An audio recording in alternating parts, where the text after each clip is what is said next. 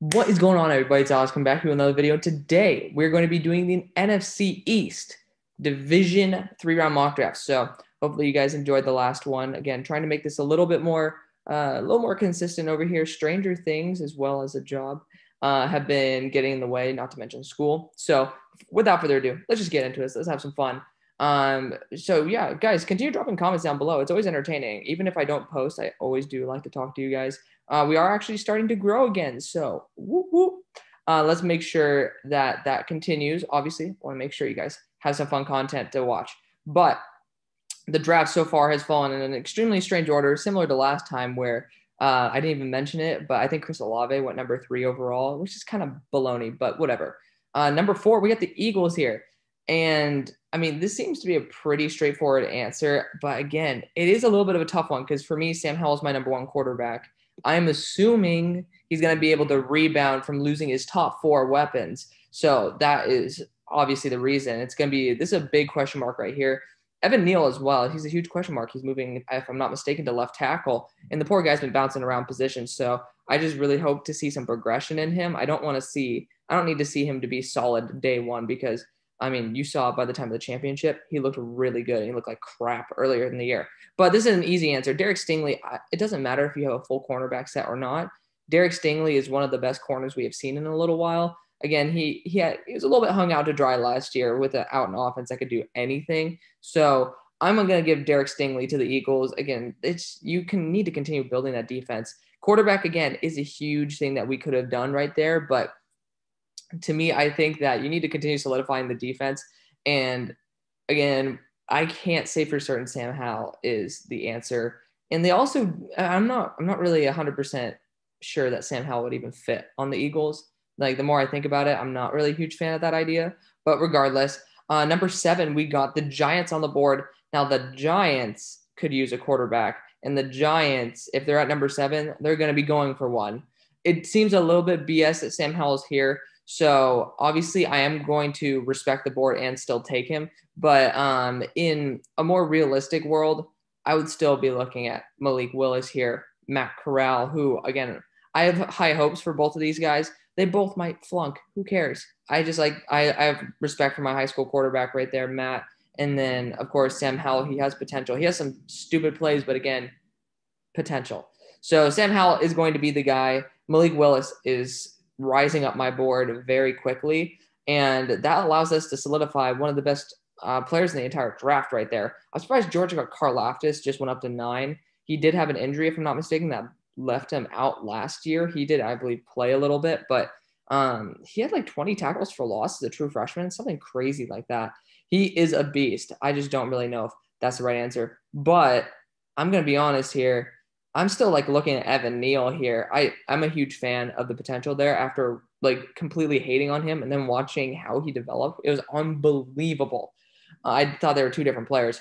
So to me, I'm thinking Evan Neal's a great target. The, the defense is pretty well stacked right now. In my opinion, we could go after a linebacker here. This isn't a really good linebacker class again. Uh, that that's just my opinion on it. I'm not really a huge fan on really any of these dudes. Uh, but I mean, Evan Neal has a lot of potential. You can stick him in at guard. That's what I've been saying. Stick him in at guard. Um, you can even put him uh, put him center. Who cares? This guy's played everywhere. Evan Neal to me is too good to pass up on.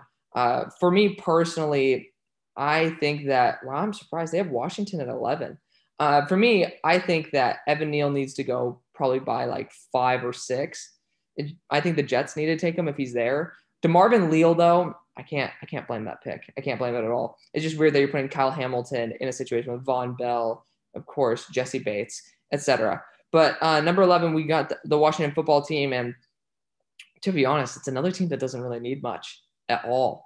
Uh, they could use a quarterback as well, which um, honestly, it's probably where I'm going to go. I think Malik Willis is the best option. Again, we're just playing like uh, musical chairs of quarterbacks, right? So I think that get somebody for the long haul. Former Auburn quarterback Malik Willis now at Liberty. He he's uh, the real deal, man. I could see some Josh Allen in him.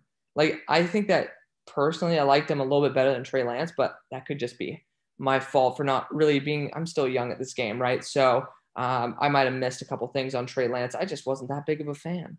when I watched him throw, I was like, ooh, this guy's pretty damn good, but you got to watch him play, not throw.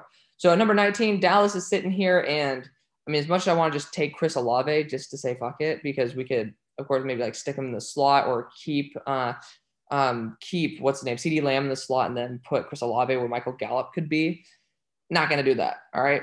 Uh, we could go after a safety here. I would. Bubba Bolden's not my number one safety in the class. I, I personally wouldn't be down for that. We could definitely go edge here. Corner still is an issue as well. Personally, I'm just not really a fan of the Kentucky kid who I'm blanking on, who got kicked out of LSU, uh, who you guys got in the second round. So, I mean, it was still great because you desperately needed it. But at the same time, like we'll, we'll check out the corners right now. Ahmad Gardner could definitely be really good. I don't think he has, uh, if I'm not mistaken, he's not the most athletic guy in the world.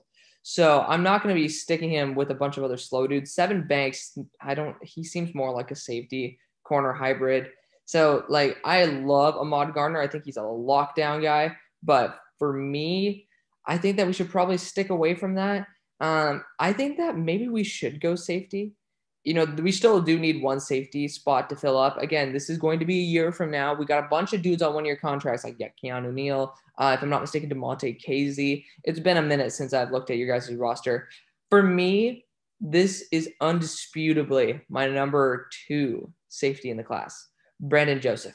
I think that he's an absolute ball hawk. I think he's he, he's just unbelievably good.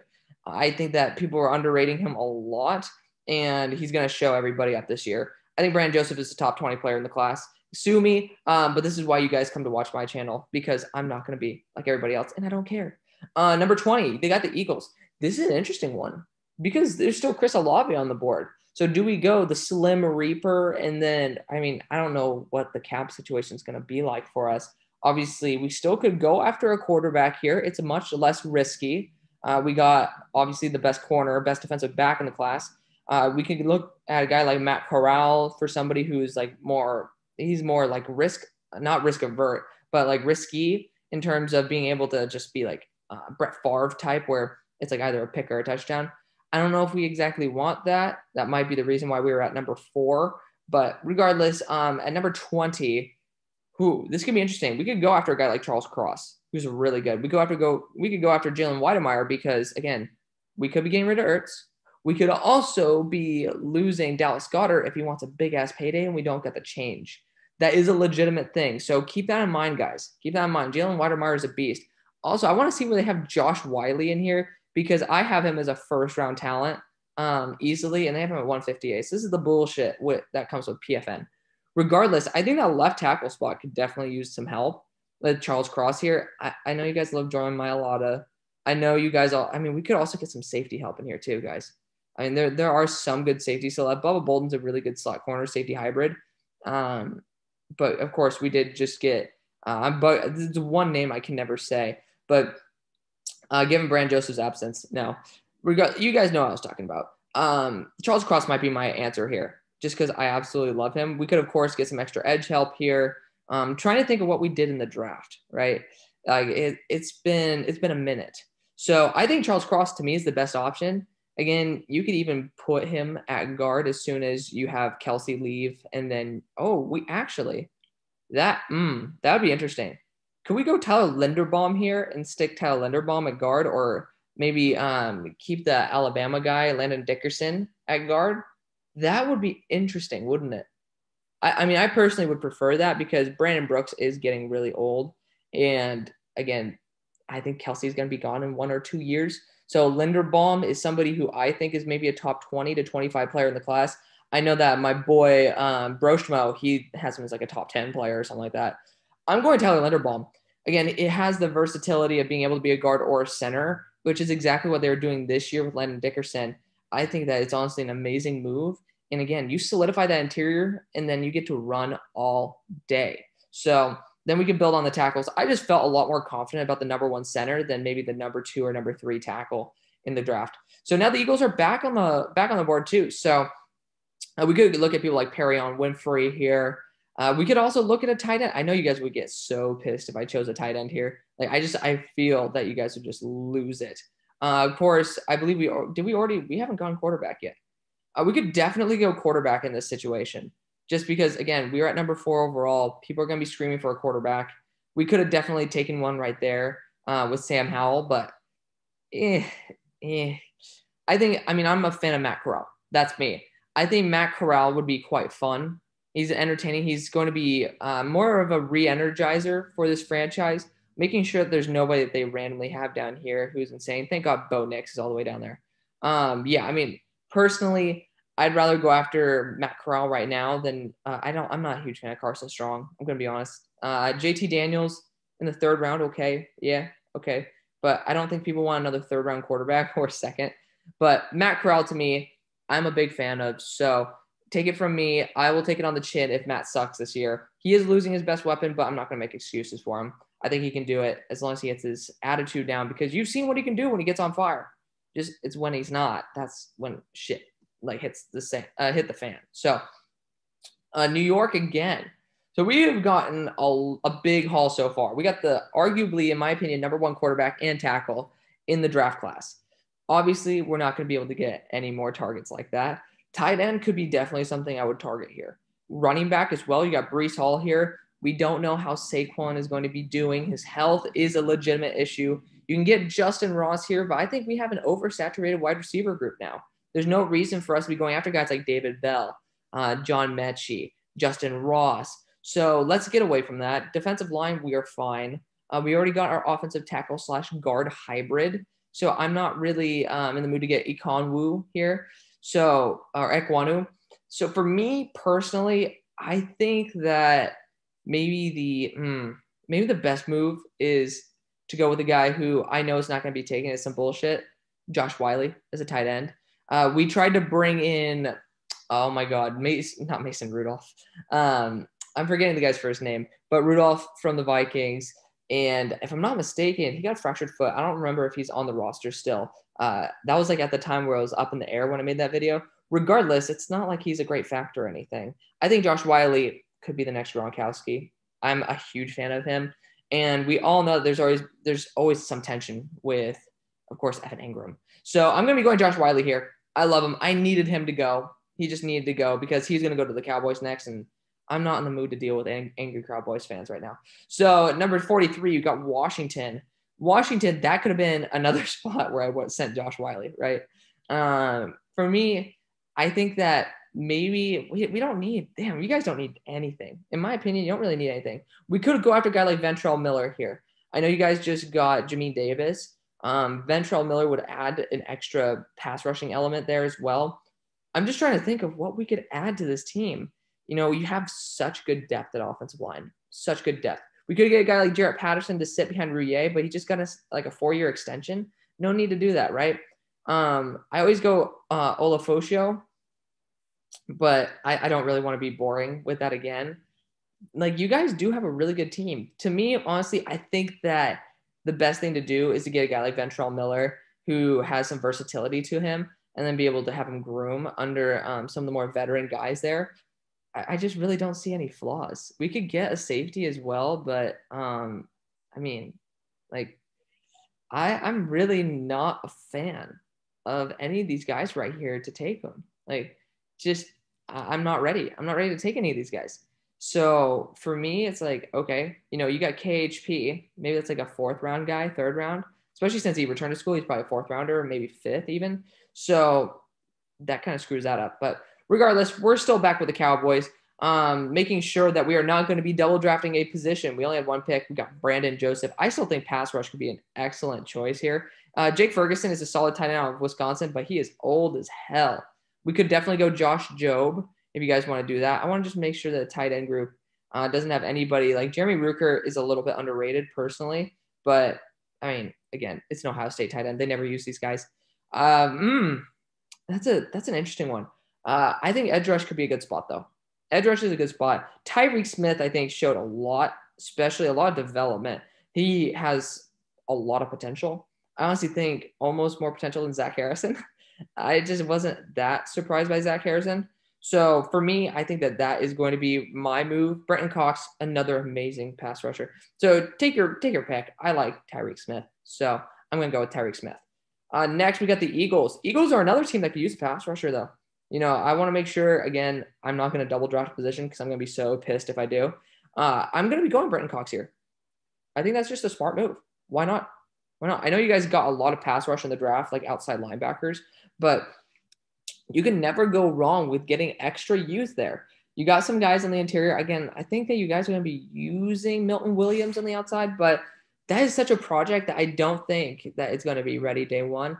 And you got to get best player available. So whether you want to get rid of a guy like Brandon Graham or you want to use Brandon Graham as a, a mentor, whatever, I don't care. Just I think that that's the best move possible. So at this spot, man, the Eagles got a lot of picks. Y'all, y'all lucky. Y'all getting a lot of stuff today. Uh, I think that maybe we could fortify that linebacking core a little bit more.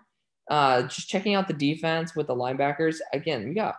I, I think at this point it's a little bit ridiculous that he's here. So out of respect for the draft board, we're gonna be getting uh, Ulofoshio, who again I'm a fan of Washington linebackers. I don't know why. I just like Washington, and I used to hate them. So I like their defense, not their offense. So I, I like it. I think that's a good addition to the team. Just let them sit, develop, uh, yeah, I mean, it's a third round pick. So take it best player available. Now, New York sitting here again. New York, this is where I would say maybe go after a guy like uh, THT. Uh, he's he's pretty good out of TCU. I'm pretty sure he's a slot corner, which uh, Darnay Holmes is there though. Uh, out of respect for my boy Darnay, I can't put him in there. I mean, you it, it, this is tough to draft for your teams. This division has gone a lot better really quick. Uh, Cameron Harris is not that great. I'm just going to put that in right now. Uh, it's interesting. I would love to look at the running backs right now and see CJ Verdell did not come out. Interesting. Algier had one of the best offensive lines. You know, um, uh, Mohamed Ibrahim could be an actual target here. He's going to be a very consistent, heavy back with great contact balance. To me, that might be my pick. You guys definitely won't like that. I could tell. But um, I mean, ooh, Empey is here though. Empey's not bad at all. He's going to be a veteran center as well. Um, that's probably a really good move. I think that's I think that's the right move, guys. I think getting a guy like Empey, who I have a lot of a lot of um, faith in, is going to be the right move. BYU had such a good blocking offensive line. I, they, they have such a good offensive line. Big fan of them. Uh, Washington sitting here. We already got the quarterback. Don't need to get anything, but we still will. Let's look for the best player available, right? So I'm looking at a guy like if you want to go two quarterbacks. I don't think you need to, especially with a guy as good as Malik Willis. Um, but you could, of course, go like guy like Jayden Daniels in there. Uh, any other BS people who should not be down here at all. Trent McDuffie, not going to get him again. I, I like him personally. Cade Mays could be an interesting one, but again, you have such good offensive line depth. Like, there's just nothing wrong with your team. like, I, I, I might want to go safety here, or maybe I could look at a corner who's probably too slow and could transition to safety. Quentin Lake's not bad personally. I I might just try to go after a slower corner. Uh, Joey Porter Jr. Honestly, I think it's the best move. Could go Trent McDuffie again. Washington corners tend to be able to play safety really well too, and he has a boundary, so you don't have to worry about the slot. I'm gonna go Joey Porter Jr. though. I'm a sucker for um, for the kids, for the descendants of former really good football players. Excuse me. Of course, I did take him last time after I pulled that trigger, so I was like, ah, crap. But here, this is where I'm gonna pull the trigger on Trent McDuffie, who I also did take last time. But whatever. You know what? Sue me. Whatever. Um, 84, we got the Giants.